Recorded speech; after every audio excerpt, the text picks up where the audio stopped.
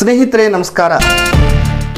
ರಾಜತಾಂತ್ರಿಕವಾಗಿ ಭಾರತ ಜಗತ್ತಿನ ಎದುರು ಯಾವ ರೀತಿಯಾಗಿ ರಾಜತಾಂತ್ರಿಕವಾಗಿ ವಿಜಯವನ್ನು ಸಾಧಿಸಿತು ಎನ್ನುವುದರ ಸಂಪೂರ್ಣವಾದ ಮಾಹಿತಿಗಳನ್ನು ಈ ವಿಡಿಯೋದಲ್ಲಿ ನೀಡ್ತಾ ಇದ್ದೀನಿ ಸ್ನೇಹಿತೆ, ಸ್ನೇಹಿತರೆ.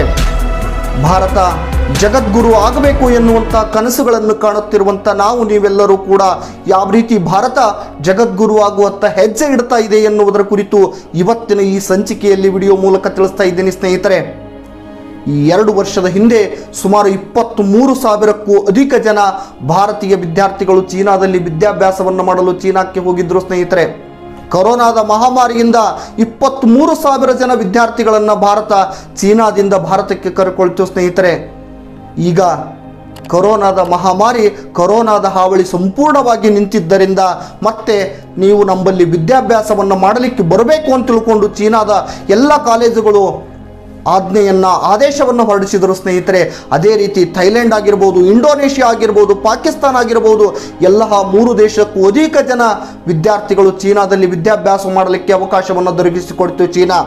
ಆದರೆ ಭಾರತೀಯ ವಿದ್ಯಾರ್ಥಿಗಳು ಸುಮಾರು ಇಪ್ಪತ್ತ್ಮೂರು ಸಾವಿರ ಭಾರತೀಯ ವಿದ್ಯಾರ್ಥಿಗಳು ಚೀನಾದಲ್ಲಿ ವಿದ್ಯಾಭ್ಯಾಸವನ್ನು ಮಾಡ್ತಾ ಇದ್ರು. ನೀವು ಚೀನಾಕ್ಕೆ ಬರಲು ಅವಕಾಶವಿಲ್ಲ.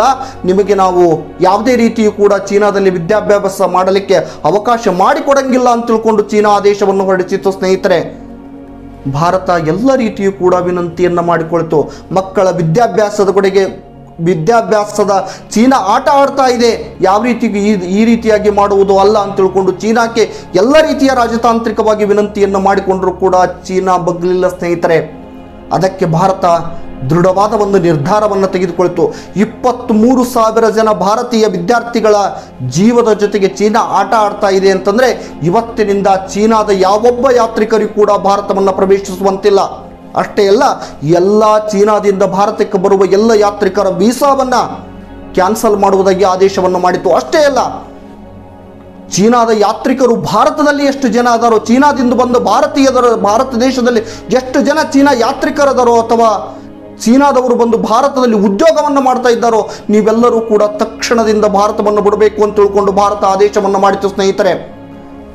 ಈ ಸುದ್ದಿ ಜಗತ್ತಿನ ಎಲ್ಲ ರಂಗದಲ್ಲಿಯೂ ಕೂಡ ಪ್ರವೇಶವನ್ನು ಮಾಡಿತು.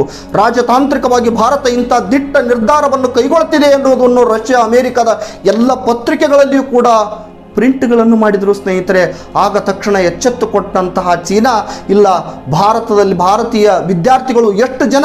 ನೀವು ನಮ್ಮ ಚೀನಾದಲ್ಲಿ ಅದ್- ವಿದ್ಯಾಭ್ಯಾಸವನ್ನು ಮಾಡ್ತಾ ಇದ್ದೀರಿ. ಎಲ್ಲರೂ ಕೂಡ ಭಾರತಕ್ಕೆ ಬರಬೇಕು. ನಾನು ನಿಮ್ಗೆ ಅವಕಾಶವನ್ನು ಕೊಡ್ತೀನಿ. ಭಾರತ ಸರ್ಕಾರ ಎಷ್ಟು ಜನ ವಿದ್ಯಾರ್ಥಿಗಳು ಚೀನಾದಲ್ಲಿ ವಿದ್ಯಾಭ್ಯಾಸ ಮಾಡ್ತಾ ಇದ್ರು, ಫೀಸ್ ಕಟ್ಟಿ ವಿದ್ಯಾಭ್ಯಾಸವನ್ನು ಮಾಡ್ತಾ ಇದ್ದಾರೋ, ಅಂತಹ ಎಲ್ಲ ವಿದ್ಯಾರ್ಥಿಗಳು ಕೂಡ ಮುಕ್ತವಾಗಿ ಚೀನಾಕ್ಕೆ ಬರಲು ಅವಕಾಶವನ್ನು ನಾನು ಮಾಡಿಕೊಡ್ತೀನಿ ಅಂತ ತಿಳ್ಕೊಂಡು ಚೀನಾದ ರಾಜತಾಂತ್ರಿಕವಾಗಿ ಆದೇಶವನ್ನು ಹೊರಡಿಸಿದ ಸ್ನೇಹಿತರೆ.